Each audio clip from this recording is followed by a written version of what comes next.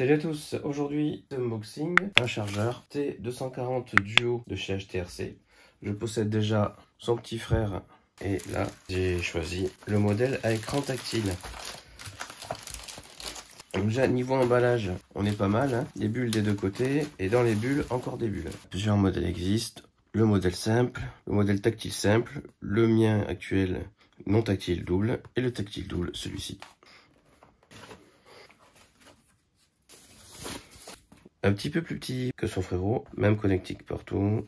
Livré avec, nous avons des prises d'équilibrage, deux bien évidemment, prise d'alimentation au format Europe, il faut le demander à la commande, du câble, du câble, du câble, plein de câbles. Désolé pour ma voix, je suis enroué. Les fiches bananes DIN et une rallonge XC60, un adaptateur Tamiya, petit manuel multilingual avec du français. Merci d'avoir acheté chargeur, etc.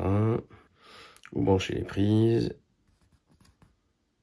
et puis après, gracias. Donc, on n'est plus en français. Je reviens sur la boîte. Est-ce qu'il y a des choses intéressantes? Ici, les specs. 6S Maxi. Pourquoi prendre le modèle tactile plutôt que de reprendre le modèle euh, en dessous que je possède déjà? Parce qu'il n'y a pas de différence de prix euh, énorme avec ces promos du 11 novembre. S'il y, avait la fameuse fonctionnalité qui permet de tester la résistance euh, des lipos pour connaître leur bonne santé. Un petit montage pour ceux qui l'ont jamais fait et que ça pourrait aider même si euh, c'est vraiment bête comme chou. La prise de courant. Bien sûr zéro ici.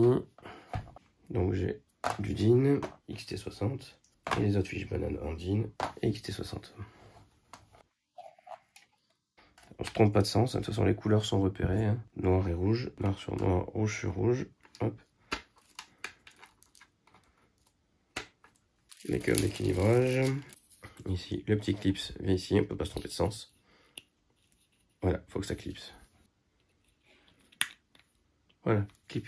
on branche. De la même manière, il y a un détrompeur ici. Il y a des petites encoches là, donc on peut pas se tromper de sens. Voilà, ça rentre pas.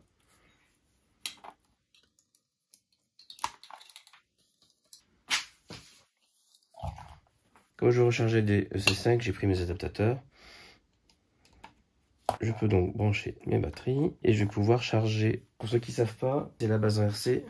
On charge toujours dans un sac litho parce qu'une batterie endommagée peut prendre feu. Minimum de précaution. Le sac lipo, c'est vraiment le minimum. La prise d'équilibrage. J'utilise des rallonges, mais pour la démo, j'ai la flemme de les sortir, donc on va faire comme ça. Et de une. Et de deux.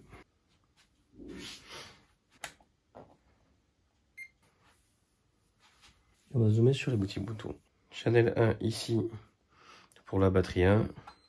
Channel 2 qui se met en rouge ici pour la batterie 2. Donc sur ma batterie 1, donc on va pouvoir lancer une petite charge de test. Pot, balance, donc CD3S, 5000, donc je monte à 5 ici, et je démarre. Donc là j'ai démarré sur Channel 2. Channel 1, Lipo, OS 5000, Start.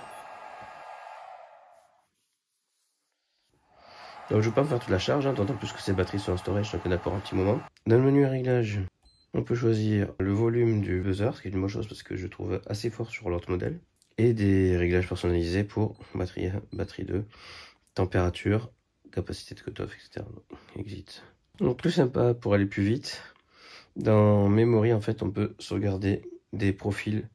Donc, euh, je peux sauvegarder les réglages pour mes lipos 3S 5000, euh, mes lipos 8000, 3S, mes 4S. Euh, pas se taper les réglages chaque fois. C'est vraiment très cool.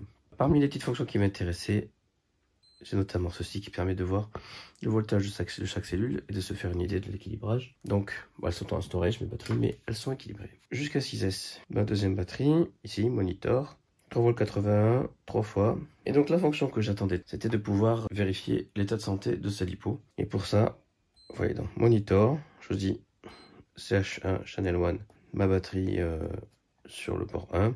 Et je fais IR check, ça va checker les résistances. Et là donc on voit 5, 4, 4. C'est des valeurs correctes. Ça veut dire que cette batterie-là est en bonne santé. On fait pareil sur la deuxième. Monitor. Hier check, je l'avais déjà lancé, donc forcément ça apparaît déjà. 8, 7, 7, 7. C'est assez faible aussi, on est en dessous de, de 10, ça commence à être chou vers 20 euh, et quelques. Ces deux batteries-là sont en bonne forme.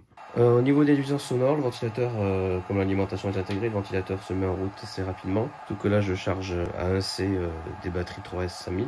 C'est grosso modo le même bruit que l'on a avec celui-là. On a la petite courbe, des informations sur la charge, du coup je suis plutôt content. Et je vais pouvoir mettre les petits scratch comme j'ai derrière celui-là pour euh, les adapter sur euh, ma boîte Bad Safe parce que c'est là-dedans que je recharge mes lipos. Si ça vous intéresse d'avoir une petite euh, vidéo démo présentation du lipo Bad Safe, dites-le moi en commentaire, je vous ferai ça.